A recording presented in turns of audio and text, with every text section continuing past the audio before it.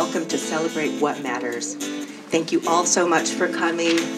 We are here today to celebrate your beautiful stories um, about what matters. For the last six weeks, our highly innovative writing facilitator and teacher, Kathy Wall, has led us on an incredible journey. Yes, incredible journey filled with memory and meaning. Her 20 or so participants range from their 50s through their 90s um, and come from all walks of life. Today, you are in for a real treat. What Matters is a socially engaged art project um, that simply asks the question what matters to you?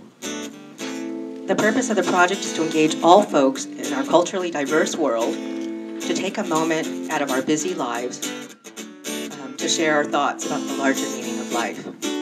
Connecting stories, connecting lives. I can meet your friends, you can meet mine.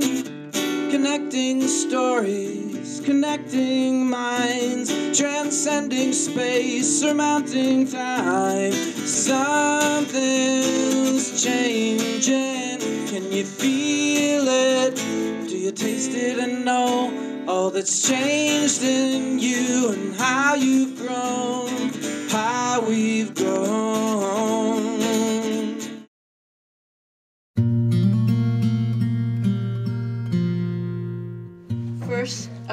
Wanted to say that I wrote about what matters to me, and of course, I completely left out my partner that I've been with for 11 years.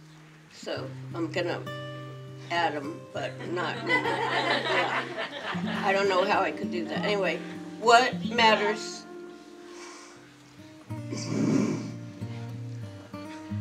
What matters to me I celebrate what matters to me. My wrinkles, my scars, where would I be without them? They tell the story of who I am. I celebrate what matters to me. My reading that takes me away from reality to places that I know I'll never go. I hear the voices of Augusten Burroughs, Jennifer Weiner, turn off your cell phone, whoever that is. Um, the late, that's okay, I don't need it. The late Oliver Sacks of blessed memory, and other authors that I'll never meet through the words of their books. I celebrate what matters to me the music of Tracy Chapman, Bonnie Raitt, Joni Mitchell, Carole King, Judy Collins, Joan Baez, and the late Debbie Friedman of blessed memory. Their music is my high. I celebrate what matters to me the stories of my friends from a group of women that I would have never met without Facebook. I celebrate what matters to me Jen and baby Landon no longer a baby. I celebrate what matters to me, my parents of blessed memory, my higher power, and all the dogs and cats in my life.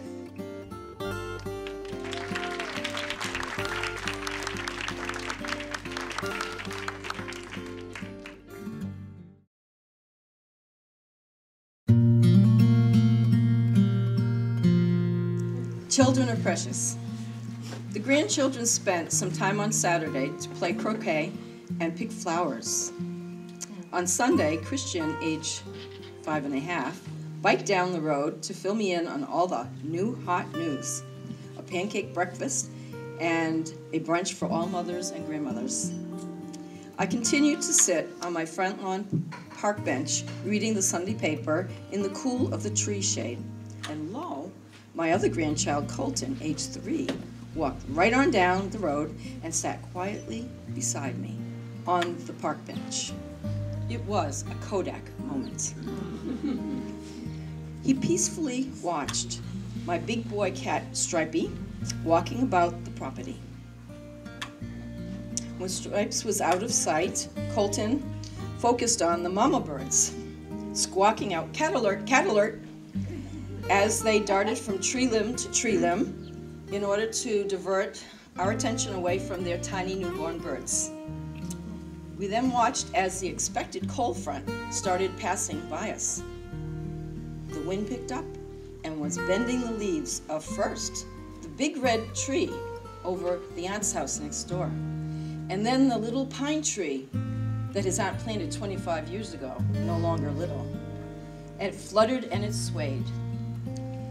The white and pink flowering dogwood trees in the rock garden frolicked and boom! The maple tree above us, at that moment, that had sheltered us, was now bending back and forth. That day, I learned to live in the moment and celebrated all that is good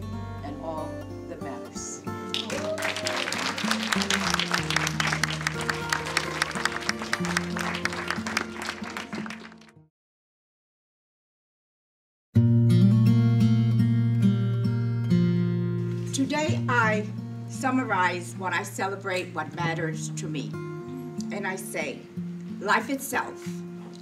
Life is for the life my wonderful parents started me on. Life is where I first was brought up with friends and family. Life is the beautiful, negative, and experiences I shared over the years. Life itself, I have learned to know and love myself as a person, and that comes first before we can love anyone. Life itself, I have learned to listen and learn from others, even though we are all alike in His image, but with different ideas and dislikes, which brings us to achieve wisdom and matureness in our lives. Life itself, I have learned and yet to learn that all persons, things, situations, circumstances have all positive meaning in my life. They all matter to me to help me to be a better person, neighbor, friend, wife, sister, especially a friend. I celebrate what matters to me, life itself.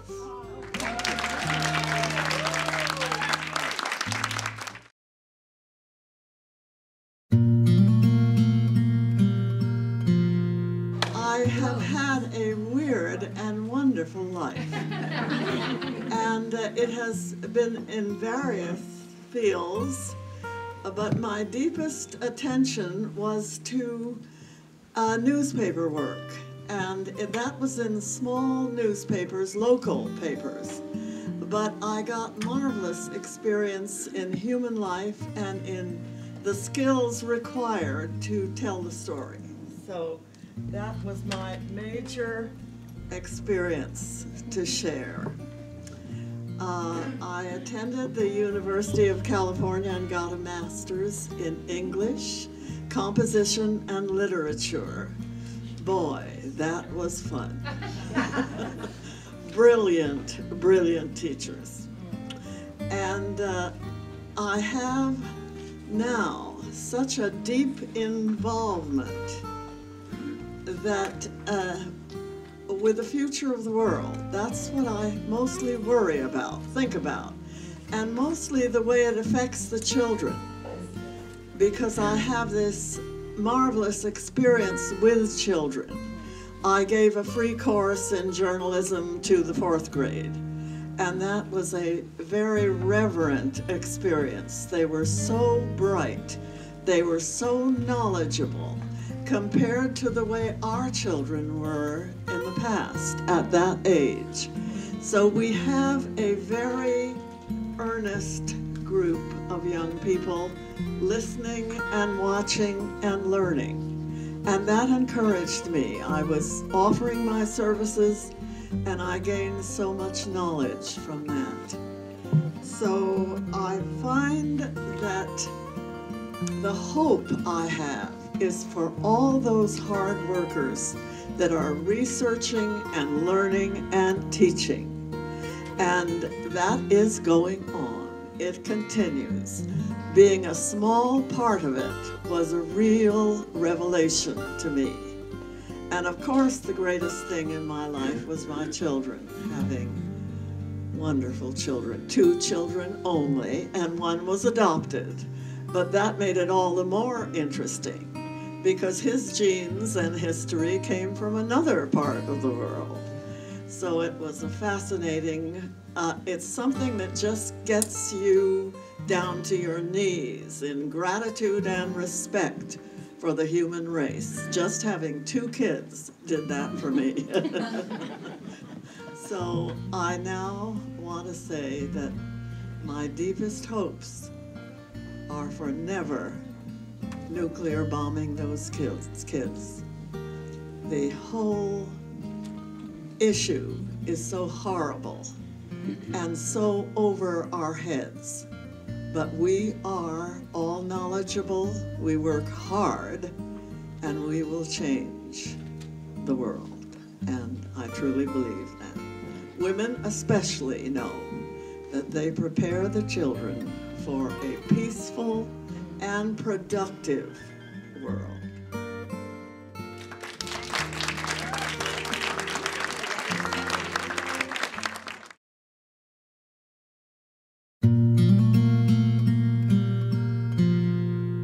I've taken the time now to truly see the wonder that abounds, overlooked so casually by me. My family, oft forgotten, to the power of pressure ticking, pacing what must be done. So fast, so far. Full stop. I, no more, the missing one.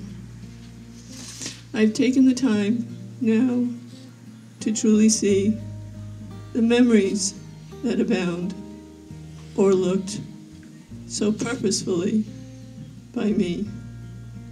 Now, holding some at close, yet still some afar, the joy I now will always know they're near to me, not far.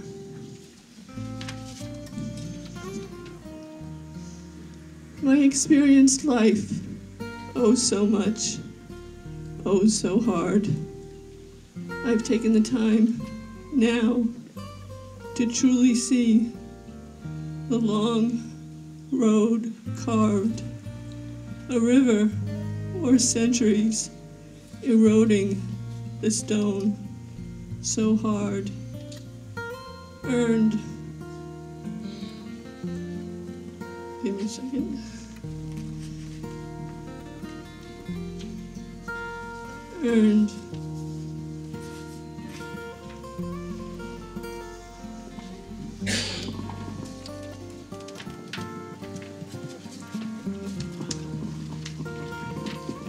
No forged, badges scarred, hard knowledge, soft strength, quick patience, easy pain.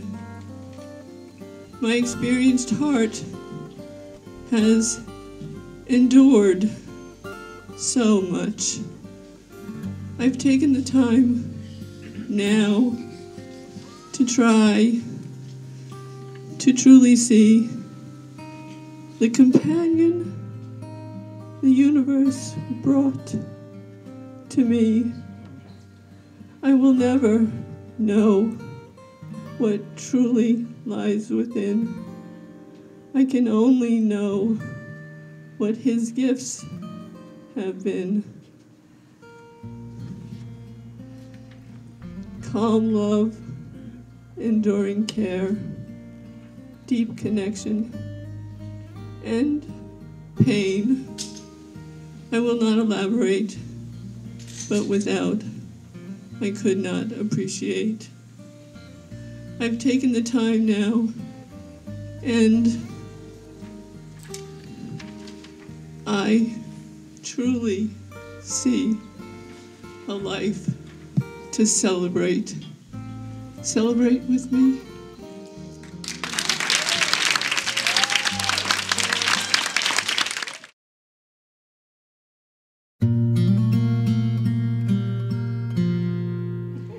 Because Mother's Day was celebrated last Sunday, I thought of my own motherhood and recalled the first time I held my firstborn child in my arms. After 36 hours of laboring, she looked at me, rolling her blue gray eyes as if to say, This wasn't fun. I felt such deep love, it hit me. I'm responsible for at least 20 years. And so it was. Motherhood did change life for me. I learned we're not in control. Today, besides my usually celebrating independence and health and enjoyment of art and music, I celebrate the fact that I'm still here. Mm-hmm. As an older woman, closer to the other end of life, I look to the young people. All these young people over here, I'm not kidding. I look to the young people and hope they can really live life to the full. I want their education to not merely be a data-based education, but one which will open up a vast world to them so they can truly respect and embrace their differences and sameness. I celebrate people, whether warm or cold, forward or shy, bold or tentative and timid. We people are uniquely created human beings. Thank you.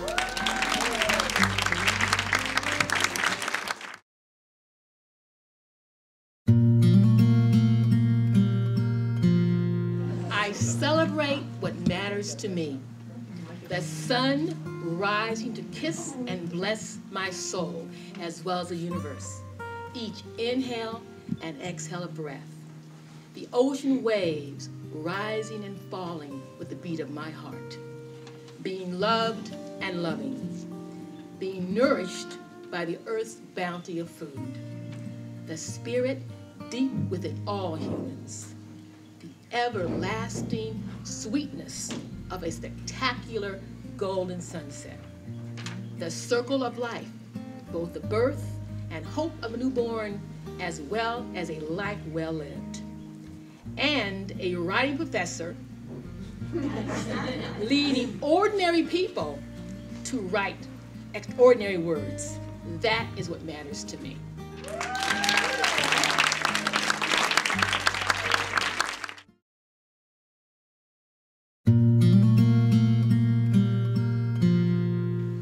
Matters to me is that I bloom where I'm planted.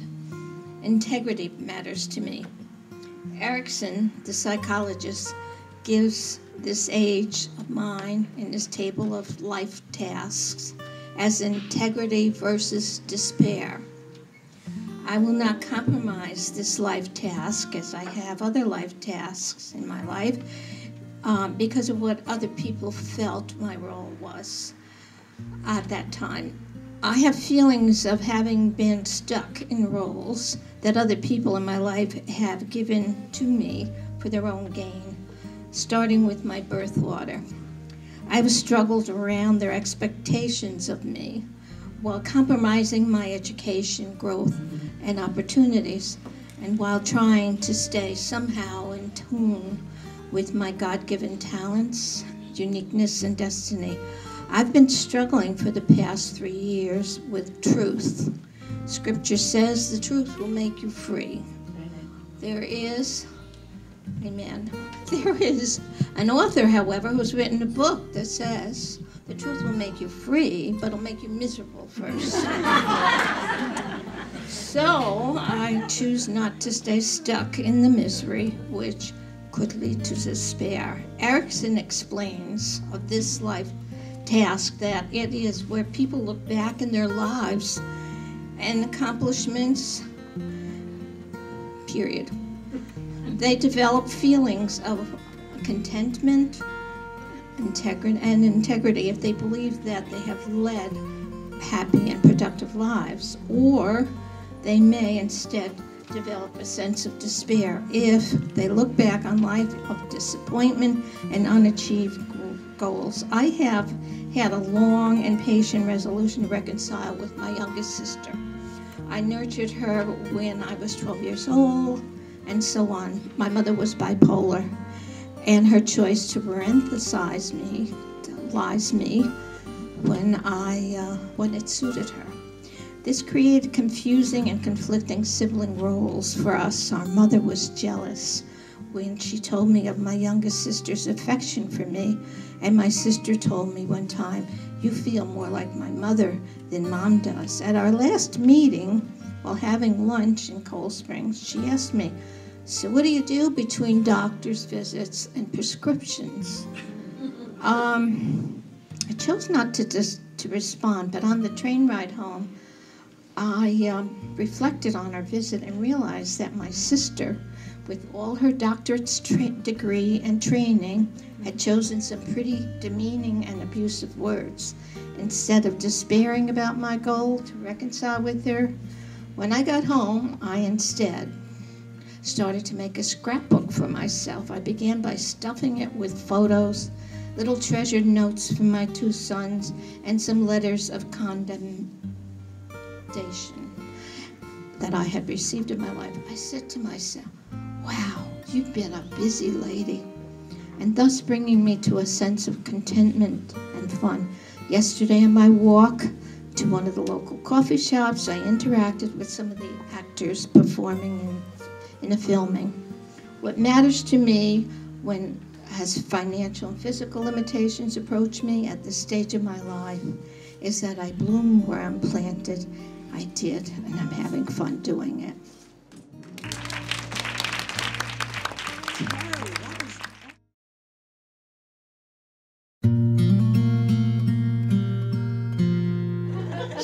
Celebrating is pulling out all the stops on the sharing of life's exercise, focusing on a particular milestone or feature. How did this come about, and is there some universal meaning to it all?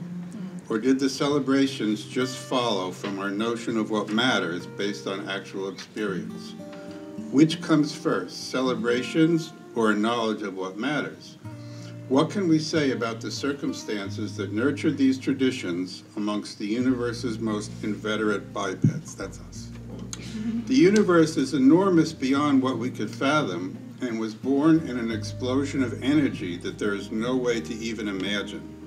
We do not know from where it comes, what's on the other side of its borders, or have any reference to comprehend our position in this enormity.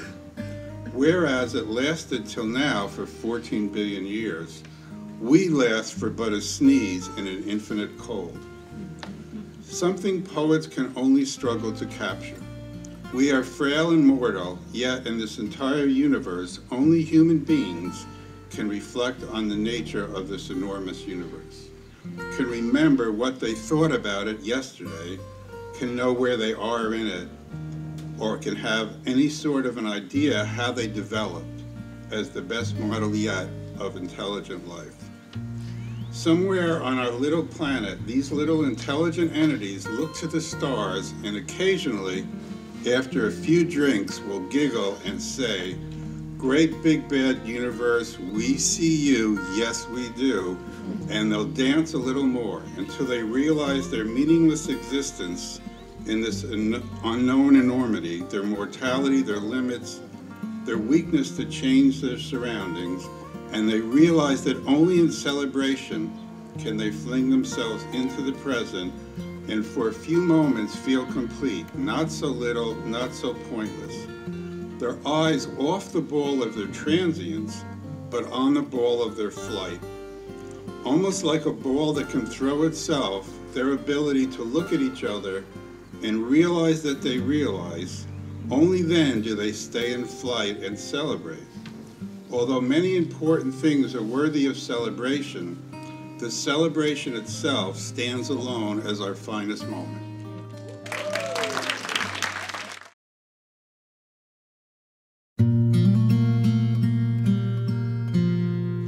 I celebrate birthdays.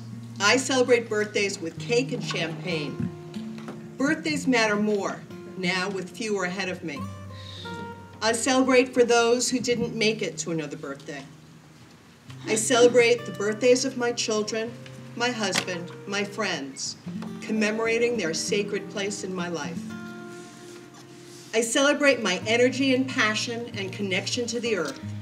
Each time my hands wrap themselves around the wet clay spinning on my wheel. I celebrate being able to create and be filled with magic.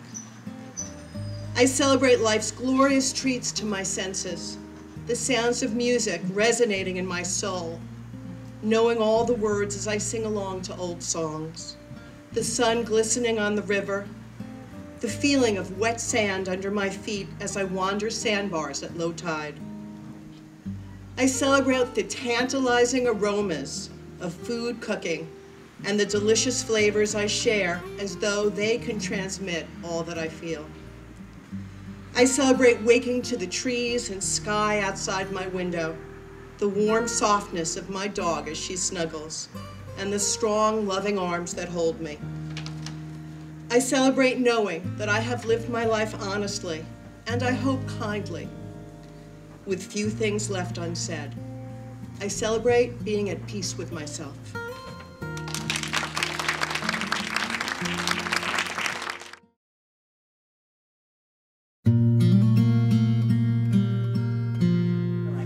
Was very young, going to school and playing with friends mattered to me. In the summer, going to camp, playing hopscotch jacks, and catching fireflies in the backyard. When I was a little older, graduating high school, getting a good job, getting married, and having children mattered. Through the years, with all the stresses, struggles, and trials, what mattered was support groups such as a single parent group and a wellness group at Gilda's Club. Also, over the years, what mattered a great deal was having a therapist to talk to and help me cope. I've seen several, and at the present time, I see one at the WJCS clinic here in Peekskill. Time with her is priceless. I hope she doesn't retire in my lifetime. And finally, what matters most is the possibility of another sunrise.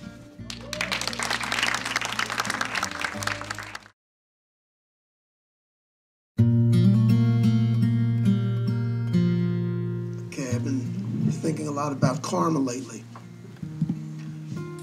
Everything that we do, everything that we think, and everything that we see comes around again.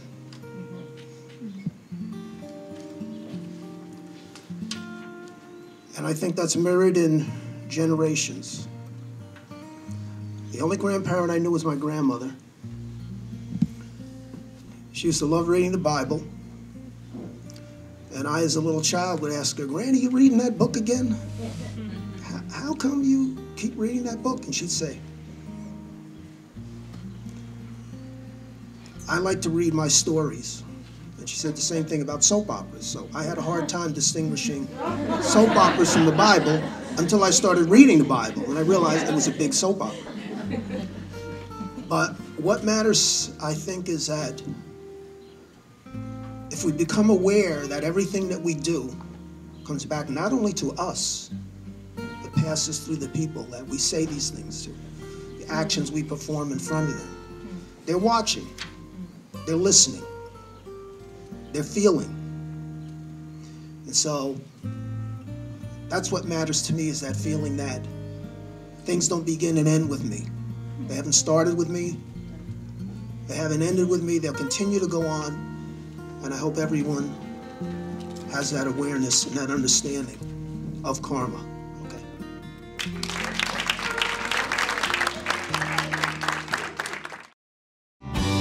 Connecting stories, connecting lives. I can meet your friends, you can meet mine.